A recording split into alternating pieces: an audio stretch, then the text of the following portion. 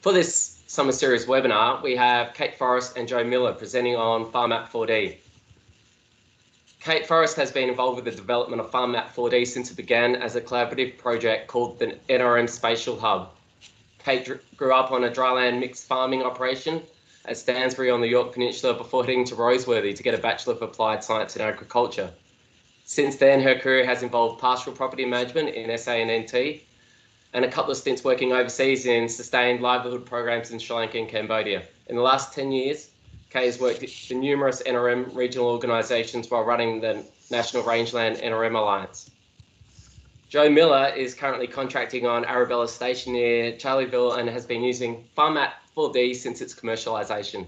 He spent his career working in all aspects of the pastoral in industry across Northern Australia, including NT, Queensland and Northern New South Wales.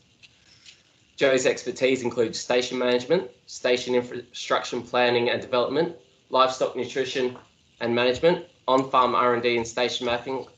mapping. Currently, Joe runs his own business as a pastoral con contractor, specialising in all aspects of station management and infrastructure development, as well as working as a property planning specialist with FarmMap 4D. So Kat and Joe are happy to answer your queries throughout the talk if you need clarification. Just use the hand up button, or if you choose to wait, we'll have plenty of time at the end for questions. And if you do have questions, don't hesitate to type in the in the chat box as you think of them. And between me, Kate, and Joe, we will make sure they get answered. Now, I'd like to introduce Kate and Joe to talk on Map Your Place, turning big data into better decisions in the paddock with FarmMap 4D. Brilliant. Thank you, Paul. Thank you for the introduction and uh, thank you for the opportunity. We were really looking forward to being at the field day in Port Augusta in December uh, last year, but uh, it's been a topsy-turvy sort of time, so we've missed out. Um, we really appreciate that SAL have put on these uh, webinars and that you've um, invited us to, to speak today. Um, thank you to all of the participants for taking some time out on your Wednesday evening. Um, it's not it's not always easy to, to stay focused. Um, Paul's pretty much introduced uh, introduced me. I've been working for FarmMap 4D for just over a year, um, and in my previous role with the NRM uh, regional bodies, I was involved with the project that developed the NRM Spatial Hub, which is now known as FarmMap 4D. Um, uh, Joe is on board. He's had his introduction. He is the go-to today for um, practical applications. Um, he's been on board since uh, the commercialization of the product and he uses it on the properties that he manages in planning um, property infrastructure where he's contracting and he does the training. Um, so if you sign up, you'll, you'll get to talk to Joe um, and he will teach you how to use FarmMap 4D. Um, this evening, the structure will be that I'll just give a little bit of history and background and a PowerPoint um, presentation. Then I will take you into the hub and do a really quick demo of just a couple of the tools um, that are available in there. And then we'll finish up the presentation and, and we can have questions. If you've got burning questions on the way, um, when we swap between the PowerPoint and the, um, the live demo, there'll probably be a little bit of time to fill, so Joe might be able to take care of those while I'm dealing with the technology. Onwards we go. So I don't know uh, how many of you know the background to FarmMap 4D, um, but FarmMap 4D began life as a multi-partner project that was funded through the National Landcare Program. They had Sustainable Ag Innovation grants in 2014, I think, that were out, and a, uh, a, a group of 12 natural resource management groups, including SA Arid Lands, the Meat and Livestock Australia, um, the Australian Wool Initiative, and the CRC for Spatial Information, um, along with a number of other partners, put in an application to to uh, for for a project to see if we could um, pull together a whole bunch of um, publicly available information, so satellite imagery, um, remotely sensed information and uh, ground cover information that was held by lots of different agencies, either around your state or around the country. Um, so there was a lot of information that was available, but could we bring it together in a way that was useful for um, pastoral land managers? Um, we were lucky enough to win um, the project and it went for two years. And what one of the um, one of the basis for the project was that it was guided by uh, grazing advisory groups, um, particularly on the tool design and content. Uh, they pushed very hard that it needed to work on a low bandwidth um, and it needed to be online, so not software that needed um, regular updates. It needed to be able to be accessed um, via uh, via the internet, and that we start from a satellite imagery base, work through mapping, and then we built um, other tools from there that they that we could find that would work and that were, were interesting. So that was how the uh, NRM Spatial Hub came into being. And at the end of the project, um, there were 200 properties using it across the country. So we'd aimed, we thought we might get 40 people using it. I think that was the project um, outcome, and we ended up with 200. Um, so we, a number of the partners put in some money to for a third year, did a feasibility study on commercialisation, and that has grown over the last three or four years into FarmMap 4D, which is um, now managed by a company called Spatial Hub Analytics. So that's that's where it came from. All of the drivers were around um, improving uh, pastoral management from a pastoralist's perspective, I guess, um, and whether we could bring that information together. And what it is. So FarmMap 4D provides um, a, an online tool that includes uh, satellite imagery, and uh, quite high definition satellite imagery as the basis for um, mapping your property. It includes public um, GIS layers uh, that are available around the country, so things like land types, um, flood areas, um, digital elevation models, those sorts of things. And within it, it has tools to analyse those layers and that information that comes in from the, the public sources. And we offer uh, data security as a it's one of the things we think is really important. Um, when you register for FarmMap you do the mapping um, and you map your infrastructure and you plan all your new projects. That is your intellectual property and you own it uh, we keep your data secure um, and we don't give access to anyone without your express permission. And you actually give us um, the names of the people that you would want to have access to it. So that we take very seriously. And what it provides to to pastoralists uh, via the internet, that's what that funky um, computer icon is meant to represent, um, is a digital farm map that's accurate and shareable. Uh, so it's online. You can you can share it with other people. You can give other people access to either edit or uh, change. But like I said, that's only done with your express permission. Um, you can assess and plan new infrastructure. So getting your existing infrastructure in there, or your watering points, fencing, all those sorts of things. You can assess it and then plan new projects and developments. You can monitor your ground cover and assess the impact of management or climatic um, impacts. Um, there's a health and safety or a work work safety um, component that we probably didn't aim for as part of the project, but a lot of users um, talk about how being able to have the map and um, upload it onto a mapping app on a phone or a GPS, uh, it, it allows you to know that your new staff member knows where they are when they're out and about, and you can probably find them if you if you need to. And there's a number of um, reports and, and that can be produced from within FarmMap. So things like uh, infrastructure ledgers and, and those sorts of things that might be useful for taking you to the bank if you want to get a loan or you need to get your loan revalued. Uh, the same for going to your tax accountant. And this is what it looks like. um, online. So it is a, you access it via an internet browser. It's uh, best used on a computer with a mouse. Um, it's not available as a phone app as yet, but you can import and export information from a GPS. Um, and onto mapping apps uh, that you can use on your phone. Uh, so like um, lots of people use it with Avenza apps, uh, Avenza Maps, which is a, a, phone app. And it all starts from uh, this, this basis here where you map out your infrastructure. So all your fence lines, troughs, tanks, dams, um, water pipes. Um, it doesn't come with any sort of guarantee that no one will put a ripper through uh, a pipe again, but it should decrease the chances of it happening. Um, it also allows you to plan projects. And like I said, it's all exportable in maps and reports.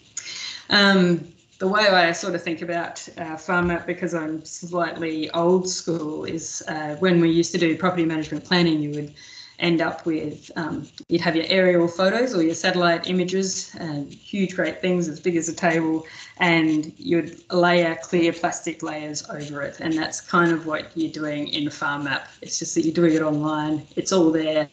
Uh, the sticky tape never gets old and it doesn't it doesn't come apart.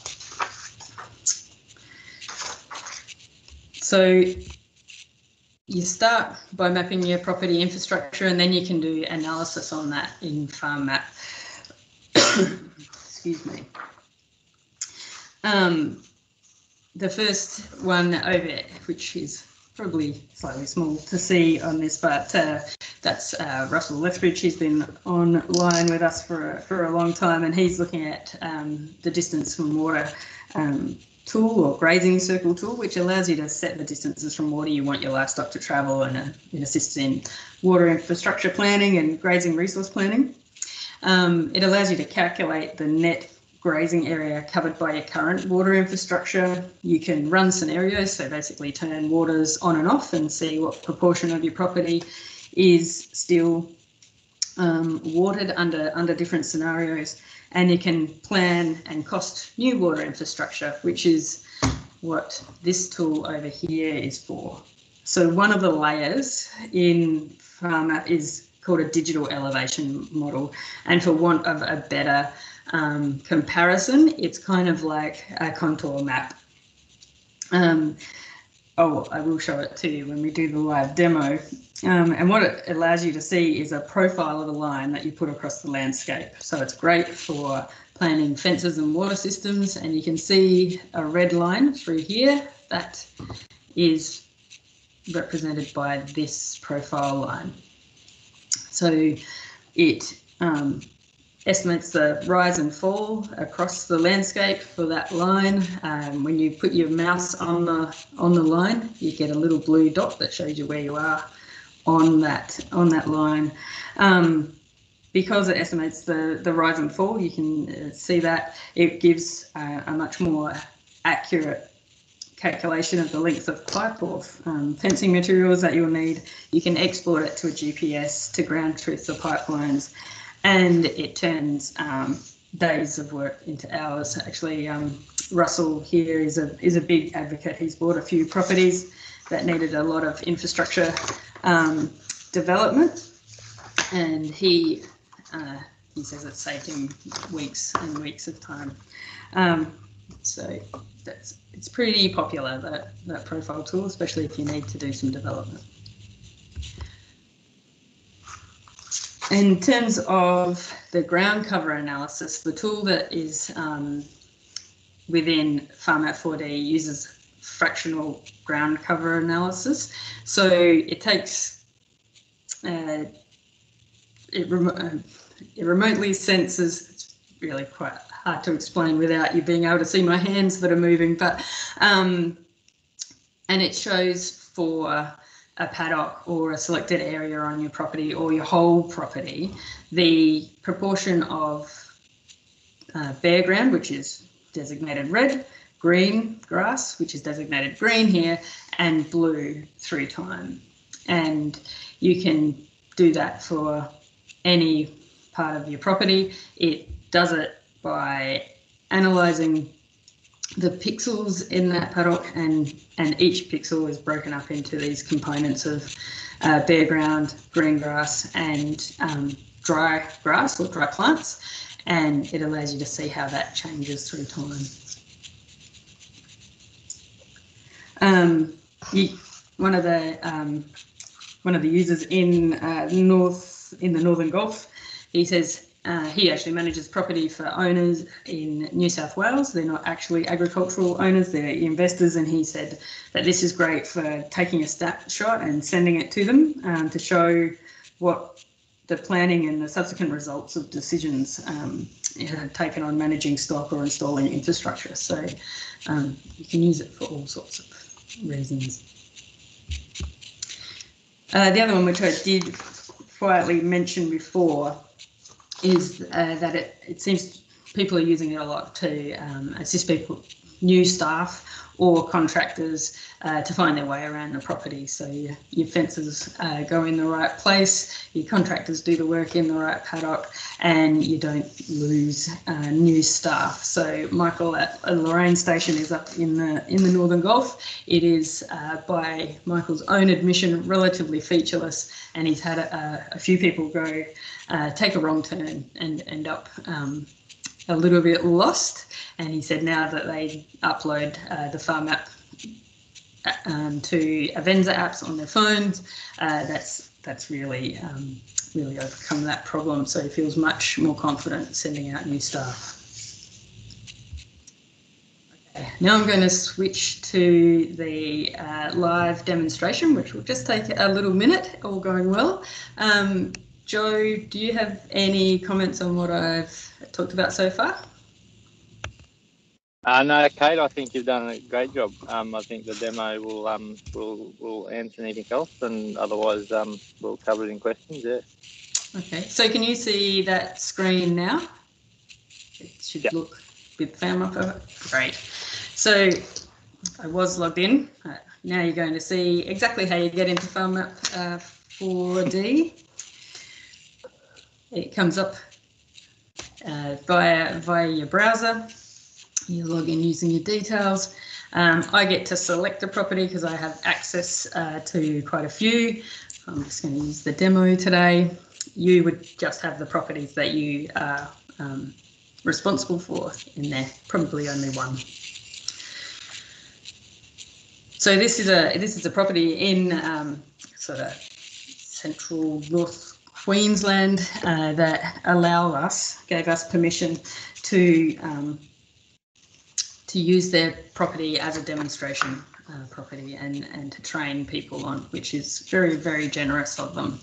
Uh, they've done all of their infrastructure mapping and it's quite detailed. Um, if when you first get into FarmMap, you'll see that there's these tabs across the top. If you can see my mouse moving across there, and that um, pretty much designates the order in which you do um, work when you when you first get into FarmMap. So you start with the mapping, uh, you get your fences in there, and I'll, I'll just I'll zoom in so you can get an idea of how um, well you can see fence lines and and other infrastructure uh, when you zoom in. So it, uh, you can get down to some pretty pretty good detail. You can definitely see where fence lines and roads, um, tanks, tanks and troughs are in on the property down to trees. You can see cattle in yards sometimes. Um, those sorts of things. I wouldn't I wouldn't try counting them, but uh, it certainly makes um, finding the infrastructure and mapping it um, quite easy. Uh, you start by mapping your fence lines, because then you can uh, what we call generate paddocks. And the reason you need to generate the paddocks is because it forms a polygon and it allows the the tools that are embedded in FarmMap, so basically the software, to recognise that that is a unit that can be analysed for either ground cover or as part of the um, distance from water analysis. So as you move across the top here, additional tools have um, quite a number of the planning tools. So if you wanted to do um, to play around with different designs for your property, you can do that in there just by putting in um, lines and points and you can calculate areas, you can do all those sorts of things, and it doesn't mess with your base infrastructure map. It's like it's like one of those plastic layers that you lay over the top of the of the old satellite imagery. The imagery analysis is um, the ground cover analysis, and there is a stocking rate calculator, so a carrying capacity um, calculator, which um, you, you need to put a fair bit of uh, manual information in. It's based on the grazing land management um, work in Queensland. It uses A, B, C, and D um, land condition, and you can and you can calculate your areas and, and your carrying capacity of your paddocks using that. So down this side, like most mapping um, software or programs, are the are the layers that you can access, and you can turn them on and off. Um, I myself lost all my property infrastructure one day and rang Mike Digby, our operations manager, in a panic, and he came in and showed me that I had just clicked the box. So it's it pays to pays to check before you get too carried away. So the first thing um, I will show you is that um, there is the grazing plan output. So this is the distance from water analysis, or um, sometimes it's called grazing circles. And what it does is around each of your water points, when you put your water points in, you'll get to say whether they're permanent or ephemeral or planned. Um, the blue ones here are permanent, or I thought they were, and um, this one is ephemeral. The orange ones, when you have planned ones in there, they are pink. Um, and for each of those, you can designate whether it's um, available to livestock and if it is, then then you can put grazing circles around it. Uh, each of these circles in this example is one kilometre out. So that's one kilometre, two kilometres, three kilometres, and that's how far they want to limit um, their cattle to uh, walking for, for pastures from, from water. And earlier I spoke about um, being able to run scenarios. So these guys actually had a, a really poor uh, wet season in 2014. So they decided to see, um, they went out every month. I'm sure they were out there more often than that, but they recorded the, the um, which watering points um, dried up and in what order.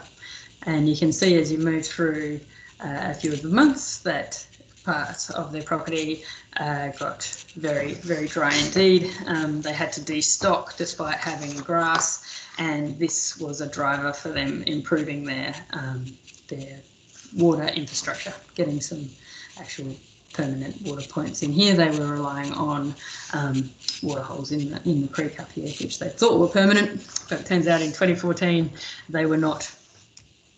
So to do um, the infrastructure planning, so the, the water infrastructure planning, um, I spoke about the profile tool and I'll just quickly show you how that works. Um, it's based on a digital elevation model, which I talked about before. Yep, sorry about the colours. It gets a bit uh, gets a bit psychedelic. Um, this tool, but um, the white bit is the are the highest points in in um, in this field of vision, and it goes down into green and um, light blues, and that's um, how the digital elevation model works. When you zoom in, it reassesses the area, and this is the highest area there in, in this in this screen. So it's pretty handy for if you're as a bit of a guide for when you're putting in water infrastructure, if you want to run it downhill, um, it makes it easier to see. And then as to plan the um, water infrastructure, um, if you're putting in a pipeline, uh, say I'm going to put one in from this dam, and if I click there, I can just take it across here. And if I double click that, we'll stop that and hit OK. And it will actually come up with one of those, um, with a profile for, for that line.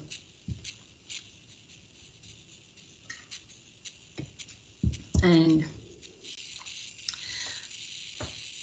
boom, almost boom. There we go.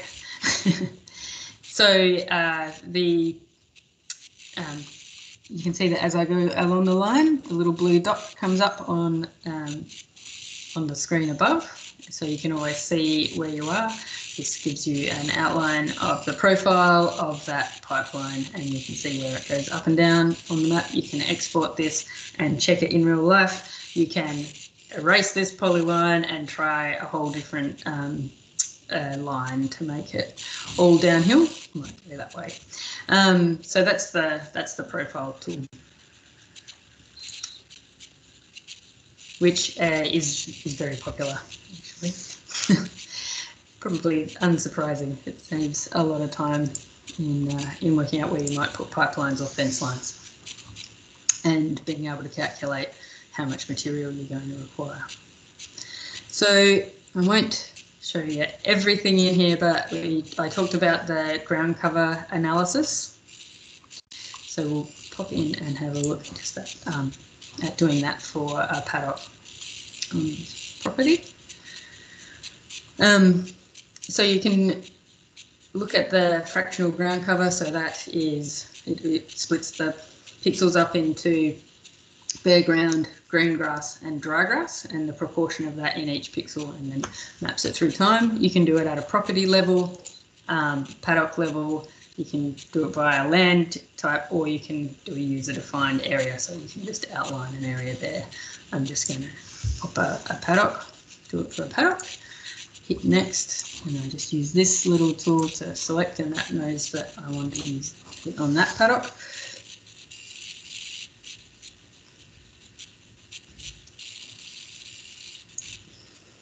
and it does take a little while because it's going back through 30 years worth of uh, satellite imagery and remotely sensed uh, data and pulling it up so that we can see it. I'm going to lift this with this little thing here because there's also uh, rainfall data now that comes up um, as, as part of this analysis. Um, as you can see, it shows how the, the proportions and how they change with seasons or with um, other other impacts uh, through time. Where there's gaps, it just means that the data wasn't good enough, um, wasn't reliable enough for it to be calculated. You can also uh, choose to go for different components of time, so you don't have to look at the 30 years. Um, it makes it a bit easier if you just want to look at a few seasons uh, to pull that out and you can see that the, the rainfall uh, dates also align uh, with, the, with the ground cover information. So that's the ground cover tool. Now there are more uh, complicated ground cover tools in here. The, the cover analysis is actually a comparison tool, so you could compare, say, that paddock to another point or to a buffer around it. You can do the same thing for a paddock. Um, but I've probably talked almost enough. Uh, do you have any comments, Joe, on how people make use of uh, the ground cover tool or or the profile tool? Uh, yeah, so I guess the, the I'll, I'll, stick with the ground cover tool for now. Um, obviously, it's it's great for when you're trying to split up. Uh, if you if you're developing country, splitting it up into smaller paddocks. Um, putting in waters, um, you might want to encourage preferential grazing towards somewhere else within the paddock because they're going for the more palatable species in a, in a on a particular land type. Um, so obviously these things show up in in the uh, in the level ground cover. Um, and so when you when you run it, obviously you can use that then to I, I suppose, um, determine how um, how you're utilising that country, if you're changing things to try and improve it, uh, because it's historically been low. You can use those as a reference point. Um, that's where the, the, historic data is, is great. Also, it allows you to sort of check, I, suppose, the human condition that is we tend to, to remember things not always exactly the way they were. um, and you know, gives an objective um, measure of that.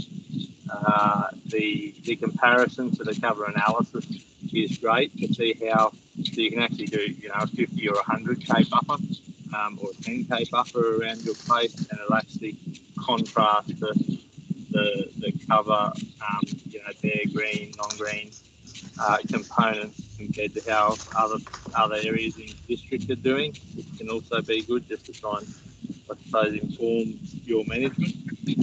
Um, pushing things, you know, can help you check that and and, um, and see how that's going. Obviously, um, uh, this is in seasons, um, so you can compare it between seasons. Um, so great, great tool, great for um, identifying particularly sensitive parts of the property that might need need to be um, fenced off and, and grazing management changed. Uh, likewise, you know, a lot of these tools obviously go hand in hand. So, for example, you might be wanting to try and improve ground cover, so you're um, you might have long walking distance to water, say you're out at 5 k's between waters um, and you want to shorten that up, you can utilise those, those analysis to uh, identify where you're going to split that up. And then obviously then you'll overlay on the on the ground um, knowledge that you've got with with the satellite imagery that you can see um, you can then draw in those profile tools to, uh, because often we're trying to utilise gravity fed waters and things like that as well. Um, and then we can obviously slingshot what we do on the ground when we go back out the paddock in person. Thanks, Drew. Um, before I uh, log out, I just wanted to show you just um, once you're in here, if you need help, there are user manuals and there's um, online YouTube videos of how to use FarmMap. But this little number is uh, is direct contact to our team.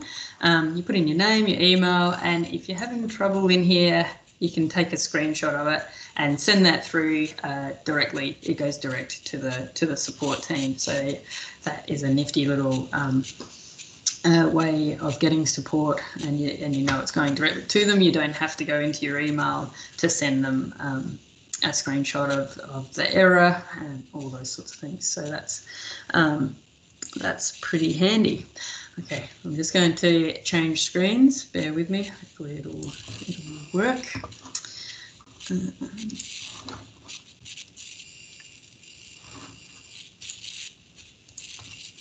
Okay, so back to the screen show, and back to uh, just just some um, information on how you access uh, FarmMap 4D and what you get. So FarmMap 4D is accessed via a yearly subscription on a per property basis of $750 per year. Um, it gives you access to all of the tools that are in um, in FarmMap 4D and any new additions as they uh, come online. Um, so it includes the farm mapping, the resol- the imagery, all of the tools that I've showed you, and um, a few a few more, probably plenty more. Um, you also it also includes an online one-to-one training session uh, with uh, with Joe um, or Mike, um, one of the um, property planning specialists, plus ongoing training support and mapping services. So if you're having trouble, you can contact the guys and know they will help you. Um, if you have multiple properties or specific needs, uh, then you can get in touch and we can talk it through. Uh, there's a contact us form on our website. If you go in there, there's also the stories from um, Michael Crispin Lorraine and uh, Russell Lethbridge, whose um, examples and quotes we've, I've used in this um, talk today. Uh, if you're ready to sign up, you can just use uh, use this link it has been a fairly quick run through. So if you didn't catch all of the information you need in the webinar, we have all the usual ways uh, for you to get in touch with us. Uh, we've got a website, there's Facebook, we're on Twitter, um, and if you email info at farmmap4d.com.au, it pretty much ends up in my um, in my email inbox. Uh, in terms of support, um, I mentioned there's a there's a um, there are videos on YouTube that you can have a look at, and they go into quite a lot of detail um, about what FarmMap 4D can do and the tools that are in it and how, how it works. And there's a user guide as well that you get access to when you sign up. Um, thank you, thank you for listening. Um, if um, it would have been great to have the opportunity to talk to you all in person um, in December. However, if you do want to chase this up in person, I am going to be at the PIRSA Livestock Technology Expo. So the one in Hawker is on the 16th of February, and there's one in Wudinna on the 18th of February. So I think uh, we'll be ready to field some questions, Paul. Thank you very much, Kate. That was really good, and it is it is great that you can do the um, live demo. But yeah, be so. I imagine it's so much better when we get that one-on-one um, at the livestock show. So people, it'd be a great opportunity for people to go see that when they are in the area at the time. Yeah, it's, it's pretty hard to be engaging um, when there's when there's no feedback on a webinar, but it'd be great to have a conversation with some folks for sure. Okay, just while people are thinking of questions, I will just ask. Um, so, what happens if landholders have already got some mapping set up? Can it be transferred into FarmMap? Going to let Joe answer that.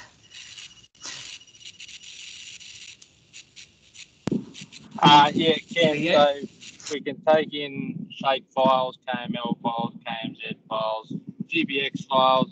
Um, so GPX is generally the file type that comes um, when you use handheld GPS, and understand handheld GPS, um, and draw a line or, or, or draw a polygon on it in, in the field. Uh, you can then take that in as a GPX file and, and use that to, to, to guide um, when you're actually drawing lines on there.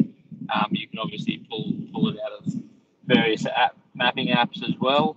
Um, but if say you've been using some some other previous um, software, um, might be current or it might be stuff that has been not discontinued, that you, you've got the, the files. As long as you've got the files, um, that data can be pulled in.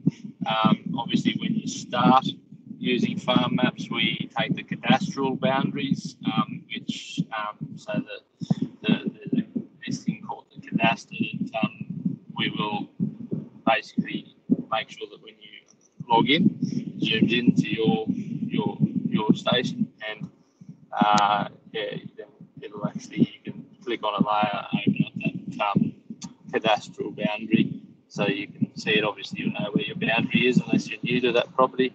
Um, so unless you've got staff doing mapping for you and things like that, you might be more handy. But if you've been there for a long time, obviously you won't need too much help, um, and you can use the, the satellite imagery just to, to final, fine, fine tune where you're actually putting it on using the, the, the, the mouse. But um, yeah, you can still bring in that, that other data and, and um, to sort of shortcut things. That's great. Does anyone have any other questions? A great opportunity. We've got two experts.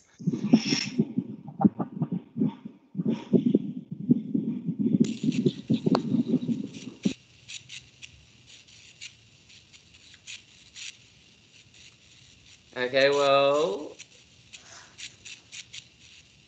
just give people a couple of minutes.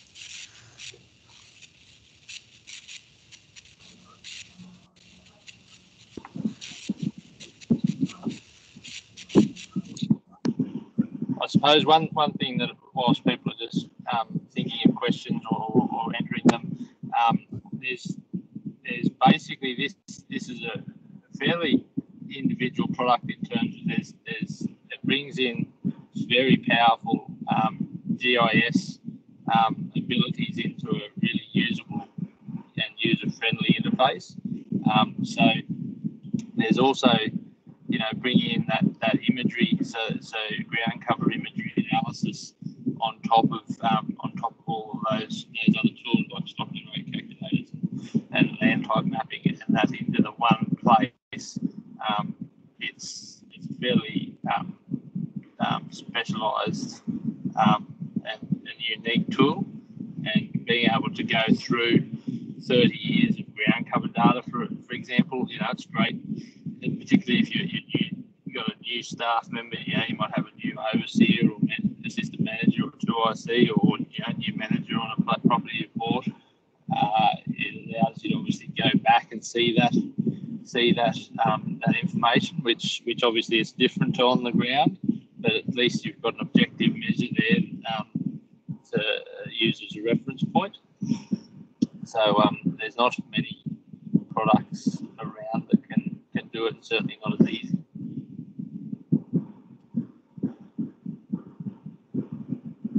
And just on um, capability, so if somebody's got like a three or four year old computer or a laptop, um, will FarmMap 4D work fine on that, just as well as something brand new? Yeah, look, um, the, the biggest thing, um, the, the, the, tips is obviously you're working on the cloud, which um, gives you the power that if, if, if a device fails, um, it's it's all still safe that data. You don't have to go and redo things. Uh, you know, so uh, internet connection speed does make a difference. Um, you know, it will work on a slower speed. Obviously, it just slows down the process to a degree. Um, there's little tips and tricks. So, uh, Google Chrome browser tends to work uh, better than some others. Um, but it, it, what it does is obviously because you're working on the cloud, there's this thing called cache memory that um, does fill, and so sometimes you just need to clear that. Um, and on some older devices, sometimes you memory fills up a bit quicker, or it might already be a bit full. So um, you might just just need to clear that memory um, periodically. The other thing is in a browser, some may know, some may not. You can actually open this thing called an incognito window. So it's recommended for for using farm maps because what it does, it doesn't actually save um, save things in this cache memory that I'm talking about, um, which also just helps with the speed of the process. Uh, so there's all those little things, but basically, as long as the device can get onto the internet, has a reasonable internet connection um, in terms of stability and speed, uh, then then you, you're cool. You can you can log in on, on things like phone browsers on phones and tablets and, and, and like, but it's not um, it's not as because because it is a powerful tool. Um, obviously, on a, on a laptop or a desktop is is far preferable, but you can use those sorts of devices as well.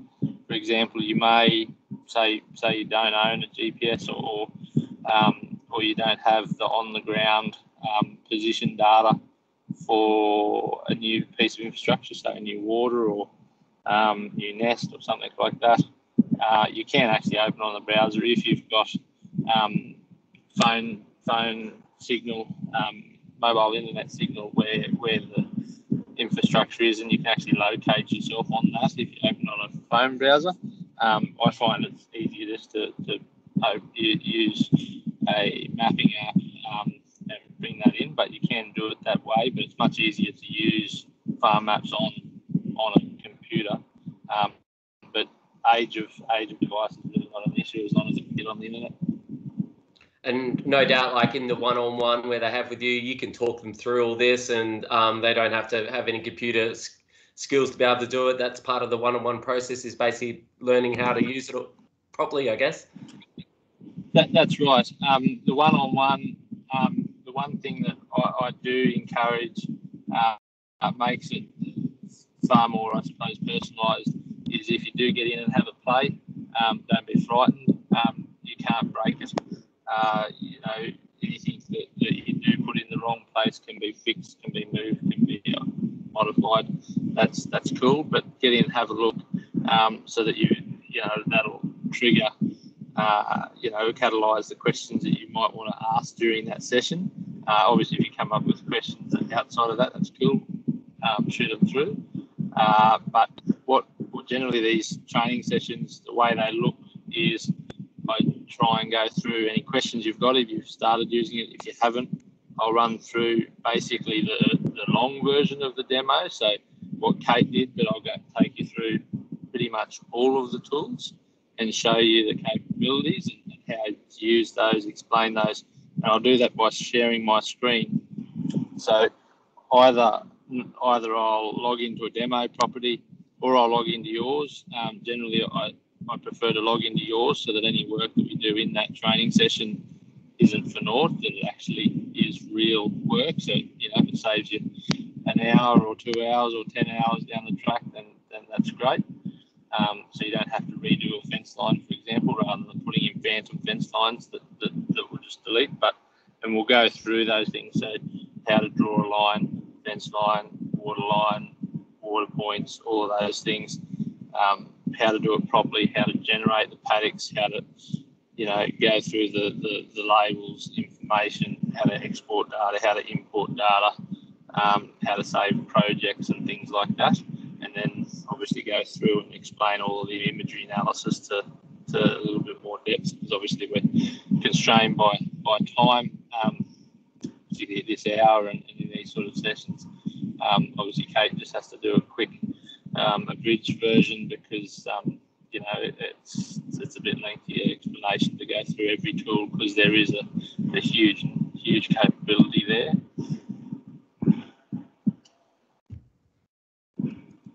Thank you very much. Did has anyone got any questions?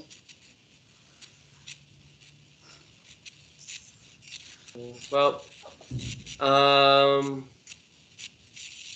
no one has. Well, we might we might call it. Thank you very much, Kate and Joe. Really appreciate your time and um, yeah, on behalf of the board, thank you very much for coming on and um, giving us this talk. Thanks for having us. It's uh, it's been great.